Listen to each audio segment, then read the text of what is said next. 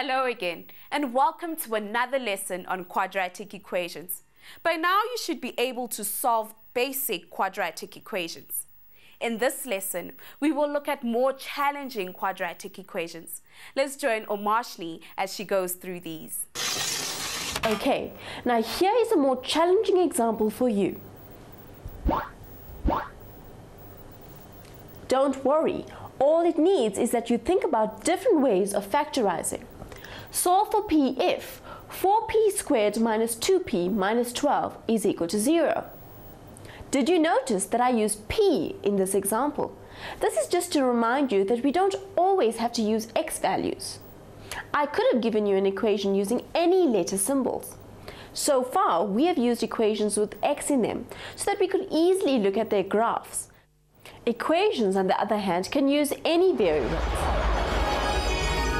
Right, Back to the equation. Have a look at it. Is it quadratic? Yes, it is a quadratic. It has three terms and the highest power used is 2. p is raised to the power of 2. You could factorize straight away into two brackets, but do you notice the common factor of 2? By removing this common factor first, you make the trinomial easier to work with. So taking out the common factor of 2, we get 2 multiplied by 2p squared minus p minus 6 is equal to 0. Now what happens to this 2? We have two factors multiplied here to give 0. 2 and all the terms in this bracket, these are the two factors. This means that 2 could equal to 0 or this bracket is equal to 0. But we know that 2 can never equal to 0, so we can easily divide this whole equation by 2 on both sides. This gives us 2p squared minus p minus 6 is equal to 0. Now we are left with our quadratic equation, which we know factorizes to two brackets. 2p squared factorizes into 2p and p. Now, at this stage, it doesn't matter which order we put this. We could easily have put p and 2p here, but for now we will work with this. The next thing we need to do is to find the factors of negative 6, but be careful. When we put the numbers in here and here, when we multiply out and add the terms, it must take us back to this middle term of minus 1p.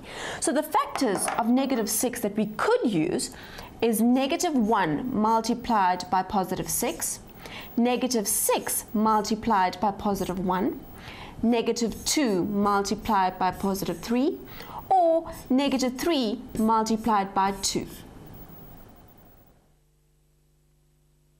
Let's try them all. There aren't too many options here, especially if we have them all ready to test. So which of these factors will work? Remember, our original equation was 2p squared minus p minus 6 is equal to 0. Now to test. 2p multiplied by p gives me 2p squared. Negative 1 multiplied by positive 6 gives me negative 6. Now let's check the middle term. 2p multiplied by positive 6 gives me positive 12. Negative 1 multiplied by p gives me negative 1p. So 12p minus 1p gives me 11p, which is not the middle term. So this equation is wrong. Let's try this one.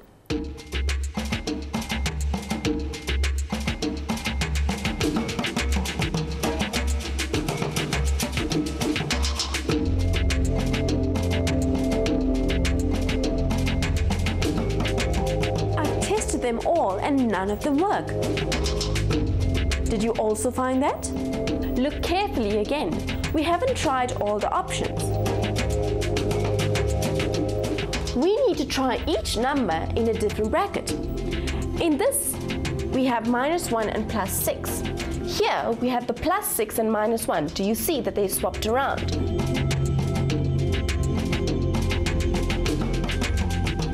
Is there one that works? Can you see which one it is? So, this one is the right answer. Do you see? 2p times minus 2 is minus 4p plus 3 times p which is 3p. Minus 4p plus 3p gives me minus 1p which is what we had here. At last. So now we can say that 2p plus 3 multiplied by p minus 2 is equal to 0.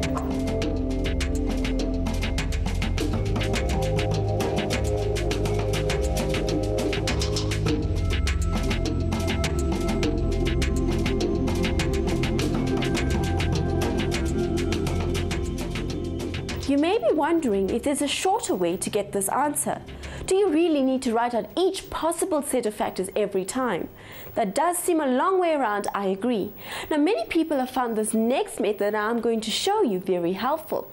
First let's write down the equation we are working with, which is 2p squared minus p minus 6 is equal to 0. Now we know this quadratic equation factorizes to two brackets, which I'm going to write here. On this side, I will find the factors of 2p squared. I'll write 2p and p here. On this side, we will work out the factors of minus 6. Now, there are many possible factors of minus 6. Let's work them out now. It could be positive 1 times negative 6, negative 1 times positive 6, 2 times negative 3, or negative 2 times positive 3, 3 times negative 2, or negative 3 times positive 2, and 6 times negative 1, and our last set of factors, negative 6 times positive 1. Now we need to make sure that we get the middle term. So let's choose or work with our first set of factors. 1 and negative 6. Now, I'm going to multiply this and this. 1 times p is 1p. 2p times negative 6 is negative 12p. And I'm going to add these two factors together and see whether it gets us to the middle term. 1p minus 12p gives me minus 11p, which is not the middle term. So these first set of factors are incorrect. Now let's use our second set of factors, which is 2 and negative 3. 2p times negative 3 gives me negative 6p. 2 times p gives me 2p. 2p minus 6p gives me minus 4p, which is not the middle term again. So this set of factors is also not correct. Can you see that we use the same diagram without writing every possible set of factors? Without writing down all the possibilities, you can try them out in your head. You should get to the one that works. So let's try our next set of factors, 3 and minus 2. If we multiply out 2p multiplied by minus 2 gives me minus 4p. 3 times p gives me 3p. 3p minus 4p gives me minus 1p, which is the middle term. So our factors 2p plus 3 and p minus 2 are correct. Let's write that down. 2p plus 3, which you're reading 2p plus 3 coming from here, and p minus 2 coming from there. p minus 2. So these are our correct factors. Right, we have factorized the trinomial, so now we can say that 2p plus 3 multiplied by p minus 2 is equal to 0.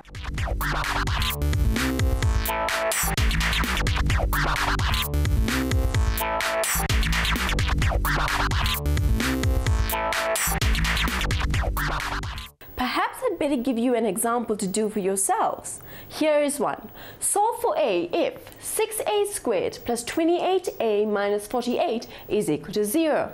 Now write it down and see if you can do it as we do it. We first need to identify a common factor out of all three terms. Then we divide through by the common factor. Now I see that the common factor is 2, so each of these terms need to be divided by 2. 6a squared divided by 2 gives me 3a squared plus 28a divided by 2 gives me 14a. 48 divided by 2 gives me 24 And 0 divided by 2 gives me 0. Now remember, 0 divided by 2 is still just 0. No matter how much you divide up nothing, you still have nothing. Now, I know this trinomial factorizes to two brackets. I also know that the first term in both these brackets will consist of the factors of 3a squared. So I write 3a here and a here we need to find these numbers. Let's use the method I have just shown you. We need all the factors of 24 in the last place of each bracket. Now that is a lot of factors to work with, but if you use a step-by-step -step approach, you will find the factors that work.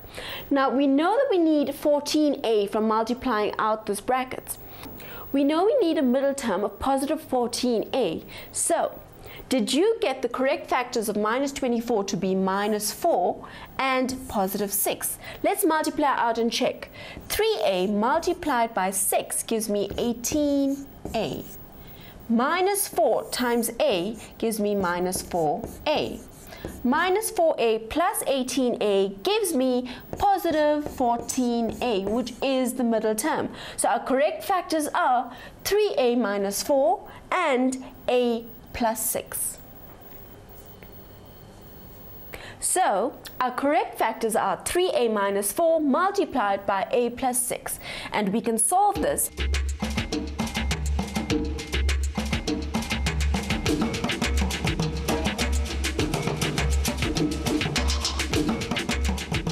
So there we have it. Remember, we solved the equation 6a squared plus 28a minus 48 is equal to 0. We found the roots of this equation to be a equals 4 divided by 3 or a equals to negative 6. That's it for now, grade 10s. Remember to look at the tasks for this section in the Equations and Inequalities task video.